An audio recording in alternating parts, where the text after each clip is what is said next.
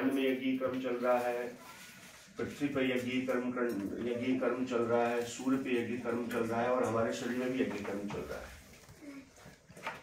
और भगवान श्री कृष्ण गीता में कहते हैं कि इस यज्ञ के माध्यम से ही समस्त सृष्टि पैदा हुई है और जब भगवान ने जब सृष्टि बनाई तो यज्ञ को और मनुष्य को एक साथ बनाया, जुड़वा भाई के रूप में। और निर्देशित किया मनुष्य को कि तुम इस यज्ञ का यजन करो, यज्ञ को करोगे तो तुम्हारे जीवन की जो भी आवश्यकताएँ हैं, वो सब इस यज्ञ से पूरी हो जाएँगी।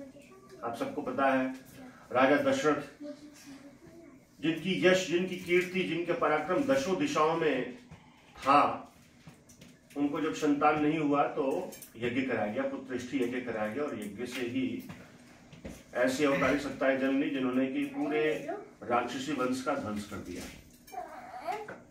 तो यज्ञ की बड़ी महत्ता है और आज के इस संक्रांति काल में इस चुनौतीपूर्ण समय में जहाँ जीवन के किसी भी पक्ष को देखें आप तो लगता है कि निरा, निराशा ही हाथ लगती है।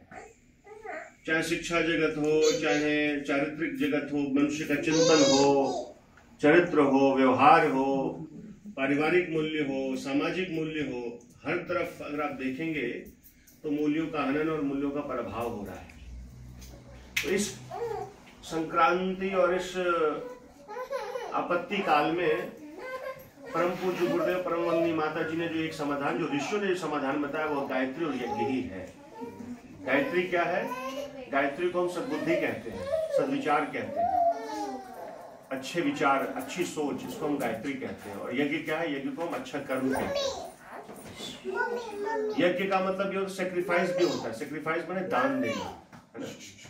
अपनी प्रतिभा, और यज्ञ, यह तो कर्म कांड है, लेकिन वास्तविक यज्ञ वो होता है जो व्यक्ति अपनी प्रतिभा का, अपने समय का, अपने संसाधन का, दूसरों के उत्थान के लिए, दूसरों को उठा, उठाने के लिए जो करता है, वो वास्तविक यज्ञ होता है। यह जो कर्मकांडी यज्ञ है, इसका भी अपना महत्व, इसका वैज्ञानिक पक्ष भी है, इसका दार्शनिक पक्ष भी है। तो इसी बात को गीत के माध्यम से हमारे भाई प्रस्तुत कर रहे हैं। हम पहले हम सबका परिचय देते हैं। हम जो यहाँ पे उपस्थित हुए हैं, हम सभी लोग शांति कुंज हरिद्वार से आए हुए हैं। शांति कुंज हरिद्वार, जो कि अखिल विश्व गायत्री परिवार का हेडक्वार्टर है, मुख्य केंद्र है, जिसके अंदर लगभग आठ हज़ार शाखाएँ हैं पूरे भारतवर्ष में, पूरे विश्व में। और मनुष्य के अंदर देवत्व का उदय हो, इस धरती पर स्वर्ग का अवतरण हो इस हेतु से यह अभियान ऋषियों के मार्गदर्शन में लगा हुआ है। शांति कुंज हरिद्वार इसका मुख्यालय है, जहाँ पे प्रतिदिन लगभग हज़ारों लोग आते हैं, पंद्रह से बीस हज़ार लोग आते हैं प्रतिदिन। निःशुल्क उनके रहने की व्यवस्था होती है, निःशुल्क उनके भोजन की व्यवस्था होती है, निःशुल्क उनके कोई भी कर्म कांड हो। बच्चे के जन्म से लेकर और मृत्युपरांत श्राद्ध तर्पण के कर्म, जो भी संस्कार होते हैं, वो सारे के सारे जो संस्कार होते हैं, वो सब निःशुल्क होते हैं। हाँ किसी को आता है स्वेच्छा से, अगर कोई अपना दान देना चाहते तो वहाँ दान दे सकता है। तो यह इसीलिए कि जो भारतीय संस्कृति, जो वैदिक सनातन संस्कृति है, जिसकी शिक्षणों को, जिसके ज्ञान और विज्ञान को लोग भूलते चले जा रहे थे, जिसके बिना हमारा जीवन अधोगाम जिसके अभाव में जो है हमारा जीवन अधोगामी होता चला जा रहा था उसकी पुनर्स्थापना करने के लिए एक यह वैश्विक अभियान परम पूज गुरुदेव परम मंदी माता जी ने कठोर तप के द्वारा इसको चलाया है।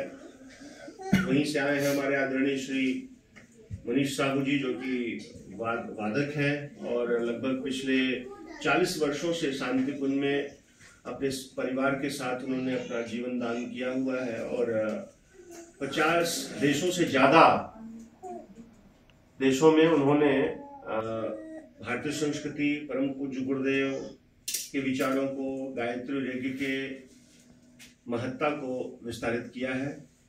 आप उनके बगल बैठे हैं हमारे गायक श्री भाव सिंह तोमर जी भाई साहब। आप भी विगत 40 वर्षों से शांति कुंज में ही हैं। पूरा परिवार इनका इस महान कार्य में लगा हुआ है।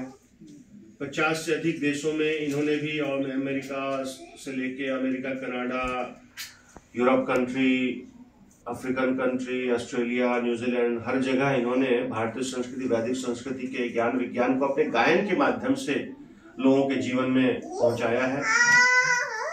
उनके बगल में बैठे हैं डॉक्टर गोपाल कृष्ण शर्मा जी, जो कि हमारे देव संस्कृत विश्वविद्यालय में प्रोफेसर हैं।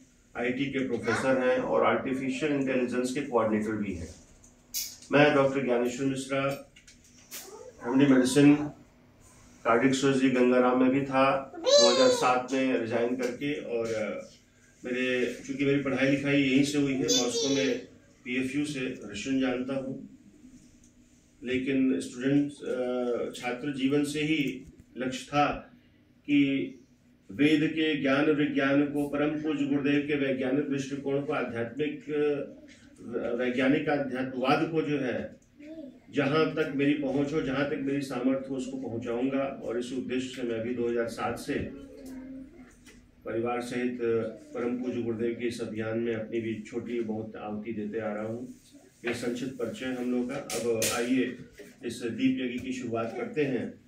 हमारे भाई आपके सामने एक प्रेरणादायी दीप यज्ञ का गीत प्रस्तुत कर रहे हैं। जगदम्बा से प्रार्थना है।